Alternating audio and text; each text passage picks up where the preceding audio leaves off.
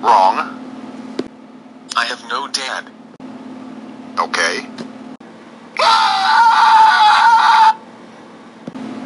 What's your name?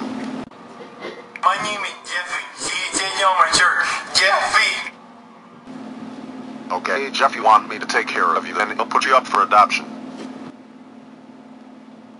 Okay, but adoption tastes so good better than strawberry ice cream. I'm Okay, let's go home.